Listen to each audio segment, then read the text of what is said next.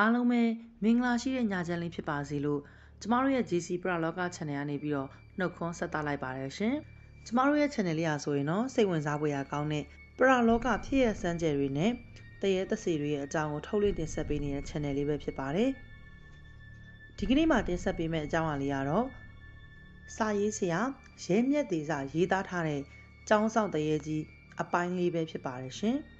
အစီအစဉ်လေးမစတင်သေးခင်မှာကျမတို့ရဲ့ channel လေးကို like and subscribe လေးနှိပ်ပေးသွားခဲ့ပါအောင်ရှင်။နောက်ထပ်တင်ဆက်ပေးမယ်တရေသစေဝတ္ထုဇာတ်လမ်းတွေကိုနားဆင်ဖို့အတွက်လည်းဘေးနားမှာရှိတဲ့ notification ပဲလေးနှိပ်ပေးသွားခဲ့ပါအောင်ရှင်။အားလုံးကျေးဇူးအများကြီးတင်ပါတယ်ရှင်။ဒါဆိုရင်တော့ကျမတို့ရဲ့အစီအစဉ်လေးကိုစလိုက်တော့မယ်နော်။လက်ထဲမှာကျိုးရှည်တစ်ချောင်းကိုကင်ထားတဲ့အမျိုးသားတစ်ယောက်ကခက်လန်းလန်းမှာရှိတဲ့ကြောင်းဝင်းထဲကနေပြီးတော့သူတို့ရှိအောင်လှမ်းကြည့်လို့နေတယ်။อืม တက်ရှိလူသားတယောက်ပုံတော့မဟုတ်ဘူးတေစာကအဲ့ဒီလူရဲ့ပုံတံကိုကြည့်ရင်လည်းတွေးလိုက်တယ်အဲ့အချိန်မှာပဲရွာထဲစီကနေခွေးရဲ့ဆွဆွဲငင်ငင်ဥလိုက်တဲ့ခွေးဥတန်တွေကလည်းသူတို့ရှိတဲ့စာတင်ကျောင်းဘက်ကိုပြန်လွှဲလို့လာတယ်အဲ့ဒါဘာတူလဲတေစာကမြူကုန်းငွေဇာကအမောင်ထဲမှာရက်နေတဲ့အဲ့ဒီအမျိုးသားကိုမျက်မှောင်ကုပ်ကြည့်မေးလိုက်တယ်သူ့စကားကိုဘသူမှပြန်မဖြေကြဘဲနဲ့ အဲ့ဒီအမျိုးသားကိုတိတ်တိတ်ချာချာစိုက်ကြည့်နေကြတယ်။လာရအောင်ကြောပေးထားတဲ့အပြင်တစ်ပင်အရေးအောက်မှာရက်နေတာမို့လို့အဲ့ဒီအမျိုးသားရဲ့မျက်နှာကိုသူတို့ဘလို့ပဲအားစိုက်ပြီးကြည့်ပေမဲ့လေတက်တက်ကွက်ကွက်မမြင်ရဘူး။သူတို့အားလုံးလန့်ကြည့်နေအောင်မြင်ရတဲ့အခါမှာအဲ့ဒီအမျိုးသားအနောက်ကိုပြန်လှည့်သွားတယ်။အဲ့နောက်မှာတော့သူဟာတေစားတို့ကိုကြောပေးပြီးတော့အမောင်တဲကိုတိုးဝင်ပြောက်ခွဲသွားတော့တယ်။ဟာအဲ့ဒါကိုစောခိုင်းဆရာကိုစောခိုင်းဟုတ်တယ်အဲ့ဒါဆရာကိုစောခိုင်းဗျ။ ကျုပ်သူ့ပုံစံကိုမှတ်မိတယ်ဆရာဦးမြင့်သိန်းကကြောခိုင်းနှက်ထွက်သွားတဲ့ထိုအမျိုးသားကိုတော်တော်ကြာကြာစိုက်ကြည့်နေရနေလက်ညှိုးထိုးပြီးတော့အတန်ပြပြနဲ့အော်ဟစ်ပြောရတယ်ဆရာဦးမြင့်သိန်းပြောလိုက်တဲ့စကားကြောင့်မလို့တေစားကနေလွဲပြီးတော့ကျန်တဲ့သူတွေရဲ့မျက်နှာမှာတိတိတတ်တာပဲပြည့်ရင်းသွားတော့တယ်ဆရာဦးမြင့်သိန်းကလည်းသူမြင်လိုက်ရတဲ့မြင်ကွင်းကိုမယုံကြည်နိုင်ဘူးထင်တယ်အန်အောမင်တက်လို့နေတယ်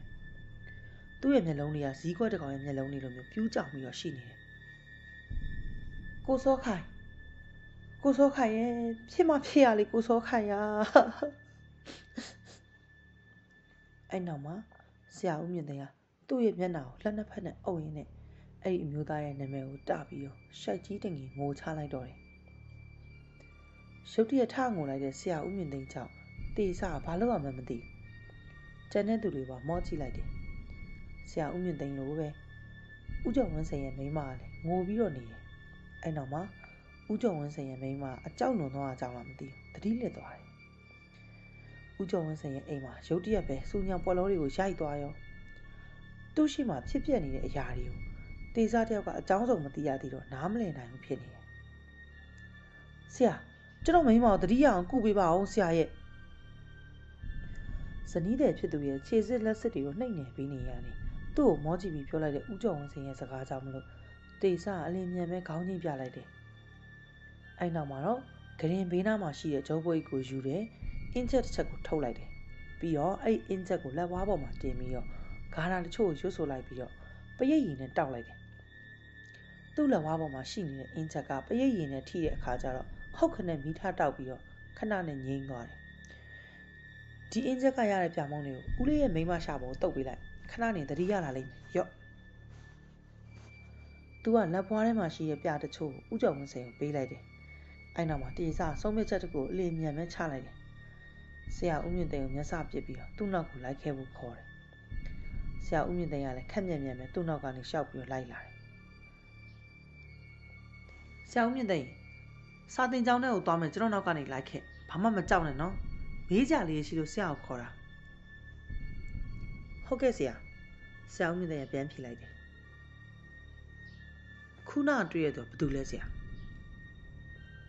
ကျွန်တော်နဲ့အတူဒီเจ้าမှာတာဝန်ကြတဲ့เจ้าဆရာပါပဲသူ့နာမည်ကကိုစောခိုင်နဲ့သူဘာလို့တည်ရလဲဆရာသိလားသိရင်ကျွန်တော်ပြောပြပါအောင်ဗျာရှေ့ကနေရှောင်းရင်မေးလိုက်တဲ့ဒေသစကားကြောင့်မလို့ဆရာဦးမြင့်သိန်းတယောက်ကြော်ရိုးတစ်လျှောက်စိတ်ရင်းနဲ့ဖြစ်သွားပြီးဘာပြောရမှန်းမသိတော့ဘူးဟိုဟိုလေးဆရာကျောင်းထဲမှာကျိုးဆွဲချတည်ခဲ့တာပါဆရာ ဆရာဦးမြင့်သိန်းကကြောမလုံစွာနဲ့နောက်ကိုလှည့်ကြည့်ရနေတေစာကိုလှမ်းဖြေလိုက်တယ်။အအဲ့နောက်မှာဆရာဦးမြင့်သိန်းကသူ့ရဲ့ခြေလမ်းတွေကိုခက်လက်မြမြန်လှမ်းပြီးတော့တေစားရဲ့နောက်ကနေထက်ချက်မကွာလိုက်လာခဲ့ပါလေရောသူတို့ရဲ့ဥတီယာစာတင်ကျောင်းတွေကိုစာတင်ကျောင်းပတ်ဝန်းကျင်မှာတဏီကွန်ရွာထားတဲ့မိုးရေတွေကြောင့်မလို့အေးအေးတက်လွန်ခဲ့ပြီးတော့မြူတွေရှစ်တိုင်းလွန်နေတယ်စာတင်ဆောင်နေသားရောက်တဲ့အခါတေစားကလော်အိတ်ထဲကဆေးဘူးဖြူအောင်လေးကိုထုတ်ပြီး သူ့ရဲ့မျက်လုံးမှာကွင်းလိုက်တယ်အဲ့နောက်မှာညက်စွာဖျားရဲ့ဂုံတော်တွေကိုပွားများရွတ်ဆိုပြီးတော့စာတင်ဆောင်ရှိမှစီးတစ်ခုတားလိုက်တယ်စီးကိုတားပြီးတဲ့နောက်မှာတော့တေစာဆရာဦးမြင့်သိန်းကိုစီးအတွင်းနဲ့ဝင်ခိုင်းတယ်ဆရာဦးမြင့်သိန်းကလည်းသူပြောတဲ့အတိုင်းစီးအတွင်းနဲ့ဝင်ပြီးတော့ရက်နေတယ်ဆရာဦးမြင့်သိန်းစီးတဲ့ဝင်ပြီးပြီဆိုတာနဲ့တေစာကစာတင်ကျောင်းပေါ်ဝင်ခြင်းကိုလိုက်ကြည့်မိတယ်ဟင်စေးကွင်းထားတဲ့သူ့မျက်လုံးမှာမြင်လိုက်ရတဲ့မြင်ကွင်းတွေကြောင့် တေစာရုတ်တရက်အံ့ဩသွားရတယ်ဟုတ်တယ်သူ့ရှိစာတင်ဆောင်မနီးမဝေးမှာရက်နေတဲ့လူတချို့တွေးလိုက်ရတာကြောင့်မလို့လေစာတင်ဆောင်ရှိမှာသူစောစောကတွေးလိုက်ရတဲ့အမျိုးသားနဲ့အမျိုးသမီးနှစ်ဦးရက်နေတာကြောင့်ပဲအမျိုးသမီးနှစ်ဦးနဲ့တဦးကတော့အသက်ကြီးပြီးတော့တဦးကတော့အဲ့ဒီအမျိုးသားနဲ့ရွယ်သူဖြစ်တဲ့ပုံပေါ်တယ်သူတို့နဲ့ခက်လန်းလန်းမှာတော့ရေပြင်ပေါ်မှာဆော့ကစားနေတဲ့၅နှစ်အရွယ်ခန့်ကလေးမလေးတဦးကိုတွေ့ရပြန်တယ် အဲ့ဒီကလေးမလေးဟာသူတတိလစ်နေတော့တွေ့ခဲ့ရတဲ့ကလေးမလေးမှန်းတေစားကသတိထားလိုက်မိတယ်သူတို့ကတေစားရဲ့မျက်လုံးတွေကိုစိုက်ကြည့်နေတယ်တေစားလဲသူတို့ကိုပြန်ကြည့်ရင်စိတ်ထဲမှာတော်တော်လေးဝမ်းနည်းသွားရတယ်ဆရာကျွန်တော်ဘာဆက်လုပ်ရမှာလဲစီးအတွင်းမှာရက်နေတဲ့ဆရာဦးမြင့်သိန်းကတေစားကိုကြည့်ရင်လည်းမေးလိုက်တာတစ်ပင်ကြီးတွေဆရာနေဖြတ်တိုက်လာတဲ့လေးနူအေးတွေဟာကျောင်းဝင်းအတွင်းစာတင်ဆောင်ရှိကိုရောက်နေတဲ့လူနှစ်ယောက်ကိုကြောစိတ်အေးစီရုံလောက် တိုက်ခတ်သွားတယ်အဲ့ဒီလိုပဲအဝေးစီကခတ်သက်သက်ကြားရယုံဆိုသည်မြခွေးဥတန်တွေကလည်းကြောင်ဝင်းဘေးမှာရှိတဲ့ဝယုံတော်တွေကဝါရွက်ပုတ်တိုက်တန်တွေအောက်မှာပြက်ခွေသွားတယ်။ဆရာကျွန်တော်ဘာဆက်လုပ်ရမလဲ။ဆရာဦးမြင့်သိန်းကအနှင်းငယ်လောက်တုံရင်နေတဲ့အတန်နဲ့တေစာကိုနောက်တစ်ချိန်လှမ်းပြီးတော့မေးတယ်။သူ့ရဲ့မျက်လုံးတွေကလည်းတေစာလှမ်းပြီးကြည့်နေတဲ့စာတင်ဆောင်စီကို တန်နေရမကင်းစွာလှမ်းပြီးကြည့်နေတယ်။အဲ့လိုကြည့်လိုက်တိုင်းလဲမပီဝိုးတော့လာရောင်ရဲ့အလင်းအောက်မှာမြင်နေရတဲ့ရေနံကြီးတွေမှိုင်းဝနေအောင်တုတ်ထားတဲ့ကြာစာတင်ကျောင်းဆောင်ကြီးကပိုးထိုးတန်အောင်မကြားရလောက်အောင်တိတ်ဆိတ်နေတာကိုခြောက်ချားဝဲရတွေ့နေရတယ်။မြတ်စွာဘုရားတိန်လွာရုပေါ်မှာလက်ကျန်မိုးဆက်တစ်ပေါက်သူ့ခေါင်းပေါ်တက်တက်ဖြက်ကနေကျလာတာကြောင့်ဆရာဦးမြင့်သိန်းတယောက်ဖျားတလျက်ခဏကိုတစ်ခုလုံးတုံတက်သွားအောင်စက်သိမ်းများထသွားတော့တယ်။ ဆရာဦးမြင့်သိန်းထံထွက်လာတဲ့အာမေရိတ်တန်ကြောင့်မလို့တေစာကတစ်ချက်စောင်းငှက်ကြည့်လိုက်တယ်။ဆရာဦးမြင့်သိန်းကသူတားပေးထားတဲ့စီးဝိုင်းအတွင်းမှာရှက်ပြီးတော့ဘေးပင်ညာမလုံမလဲကြည့်နေတာကိုတွေးလိုက်ရတယ်။တစ်ချက်တစ်ချက်သူ့ကိုအားကိုးစွာလှမ်းကြည့်နေတဲ့ဆရာဦးမြင့်တဲ့ရဲ့မျက်လုံးတွေကလည်းကနာမငြိမ်မဲရှိနေတာကိုတေးစားတယောက်သတိထားလိုက်မိတယ်။ဒါပေမဲ့ဆရာဦးမြင့်တဲ့ကကြောင်းဝင်းအတွင်းမှာသူတယောက်တည်းကိုပဲမြင်နေရသေးလို့ပြောရလောက်ကြောက်နေပုံတော့မပေါ်ဘူး။ မတိစိတ်ကလှုံ့ဆော်လို့သာလန့်နေတာမျိုးဖြစ်နေတယ်။ဒါကြောင့်မလို့ဆရာဦးမြင့်တဲ့ကသူ့ဘက်လှည့်၍ကြည့်နေတဲ့တေးစားတယောက်ပြောလာမယ့်စကားတွေကိုအာယုံတင်းဆိုင်ပြီးတော့နားဆွင့်နေတယ်။တေးစားကတော့ကျေးဇူးရှင်ဆရာကြီးဦးတောင်းတန်စီရင်ဖော်ဆက်ပေးထားတဲ့ဒေဝစက္ခုလို့ခေါ်တဲ့မြက်ကွင်းဆေးကိုမျက်လုံးနှစ်ဖက်ကိုကွင်းပြီးလိမ့်ထားတာမို့လို့ပရလောကသားတွေဖြစ်ကြတဲ့ကိုစောခိုင်နဲ့ကြံတဲ့သူတွေကိုတွေ့မြင်နေရတာလေအချိန်နှင်းငယ်ကြတဲ့ဒီဆရာဦးမြင့်တဲ့ကစိုက်ကြည့်နေပြီးတော့တေစာကခေါင်းကိုရမ်းပြီးတော့ ကျောင်းရှိမှရှိတဲ့ကိုစောခိုင်တို့ပြန်ကြည့်လိုက်မိတယ်စာတင်ဆောင်ရိတ်အောက်မှာတဝက်တစ်ပြက်မြင်းနေရတဲ့ကိုစောခိုင်အမျိုးသမီးနှစ်ဦးနဲ့ကလေးမလေးတို့ကကြောက်ရွံ့တွေလိုသူ့ကိုရက်ပြီးတော့ကြည်နေလျက်ရှိတော့မယ်ဒါကြောင့်မလို့တေစားကသူတို့လေးယောက်လုံးခြုံကြည့်တဲ့နေရာမှာကျိုးခွေတစ်ခွေကိုကင်ထားတဲ့ကိုစောခိုင်ရဲ့မျက်နှာကိုသာအဓိကထားပြီးတော့တေချာကြည့်လိုက်တယ်ကိုစောခိုင်ရဲ့မျက်လုံးတွေကနယံစေးပကြီးကားချက်တည်းကလူပုံသူတစ်ခုရဲ့မျက်လုံးတွေလို မဲနှက်ပြီးတော့လှုပ်ရှားခြင်းမရှိဘူးဒါပေမဲ့မျက်တောင်မခက်မျက်စံလှုပ်ရှားခြင်းမရှိတဲ့ကိုစောခိုင်ရဲ့မျက်ဝန်းနဲ့တွေက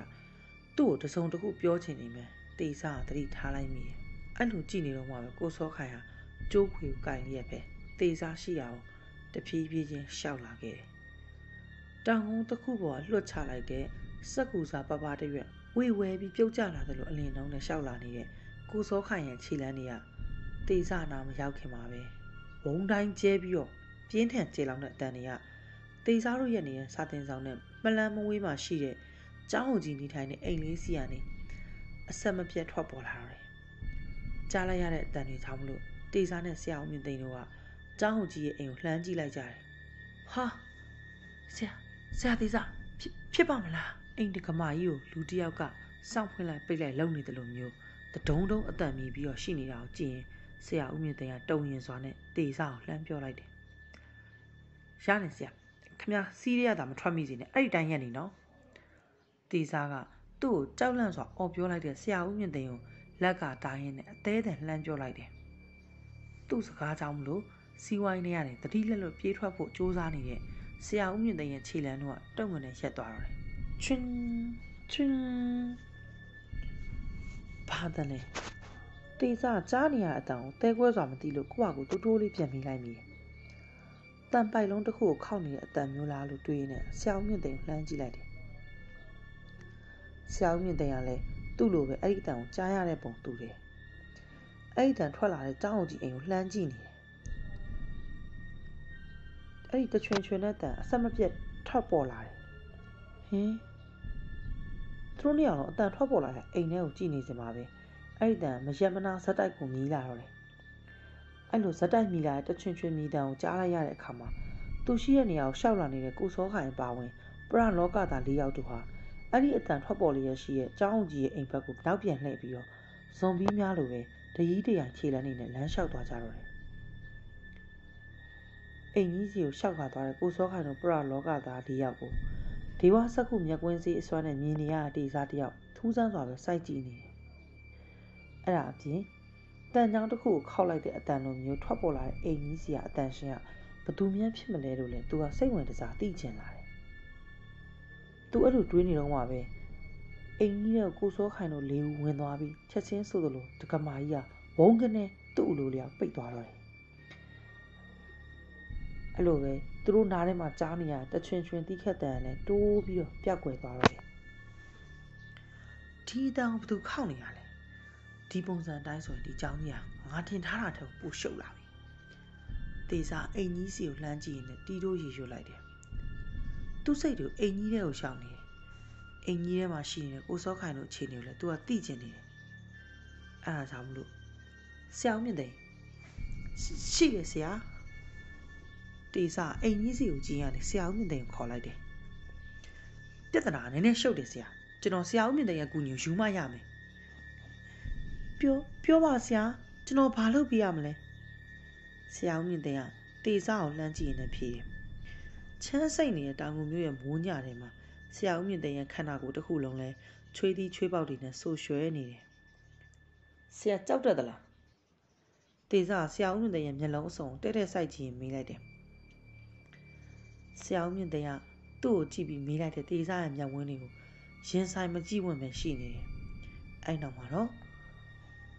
နှစ်ဖူးတက်ကမျက်နှာပေါ်စီးကြလာတဲ့ချွေးတွေကိုဝတ်ထားတဲ့ပစိုးခပုံစားနဲ့ကုန်းပြီးတော့တုပ်လိုက်တယ်မကြောက်ပါဘူးဆရာဘာဘာလို့လို့လဲအဲ့လိုမျိုးပြန်မေးတယ်အထစ်တင်ငုံငုံနဲ့မေးလိုက်တဲ့ဆရာဦးမြင့်သိန်းရဲ့စကားတန်ကိုအထစ်တင်ငုံငုံနဲ့မေးလိုက်တဲ့ဆရာဦးမြင့်သိန်းရဲ့စကားဆုံးတာနဲ့တေစာတက်ပြင်းတစ်ချက်ကိုချရင်းနဲ့ပြဿနာနည်းနည်းရှုပ်တယ်ဆရာ ကျွန်တော်ဆရာဦးမြင့်သိန်းရဲ့အကူအညီကိုလိုအပ်တယ်အခုကျွန်တော်အိမ်ထဲဝင်မယ်ဆရာအပြင်မှာတယောက်တည်းကြံခဲ့မယ်အချိန်မရှိဘူးကျွန်တော်ထင်တာမမအောင်ဆိုရင်ဆရာတငယ်ချင်းကိုစောခိုင်တို့အထက်မှာဒုက္ခရောက်နေကြပြီဗျာအခုနားဆင်ကြရတဲ့ဇလန်လေးကတော့စာရေးဆရာရဲမြက်ဒေစာရေးသားထားတဲ့ကျောင်းဆောင်တရေကြီးအပိုင်းလေးပဲဖြစ်ပါတယ်ရှင်နောက်ထပ်တင်ဆက်ပေးမယ်ကျောင်းဆောင်တရေကြီး စက်သိမ်းပိုင်းကိုလည်းစောင့်မျှော်နားဆင်ပေးဖို့အတွက်ဖိတ်ခေါ်လိုက်ပါတယ်နော်ကျမတို့ရဲ့အစီအစဉ်လေးကိုဒီမှာပဲရှင်းထားလိုက်ပါမယ်ရှင်အပိနာဆင်ခဲ့ကြတဲ့ပရိသတ်တယောက်ချင်းစီတိုင်းကိုလည်းကျေးဇူးအများကြီးတင်ပါတယ်ရှင်